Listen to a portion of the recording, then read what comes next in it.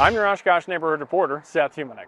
A traffic stop took a dangerous turn this weekend after police say a man took off after being pulled over near the intersection of South Park Avenue and Knapp Street.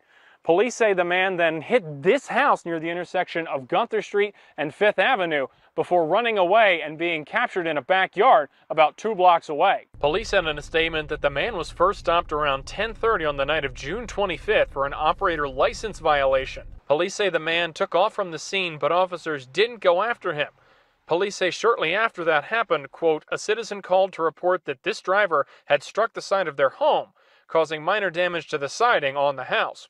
I spoke with the homeowner who didn't want to go on camera, but she told me she didn't call police and officers were the ones who notified her of what happened.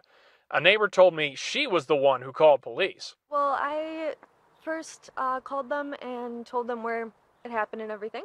Amanda Ruby and Ariel Anderson Ruby live across the street from the house that was hit. They gave slightly different versions of the events than police as far as time and day. I want to say it was between uh, 11 and midnight. Uh, we were inside watching a movie and uh, we heard a squeal. We run to the door and we see across the street there's a, an orange Pontiac in that yard. They also claimed the incident happened on June 24th, not the 25th, as police said. What day was that? Saturday. Yep, Saturday. We reached out to the police to clarify the differing stories but did not hear back. The man was arrested for six different offenses, including hit and run and a fifth offense of OWI. The district attorney's office tells me he has not yet been charged. In Oshkosh, Seth Humanek, NBC 26.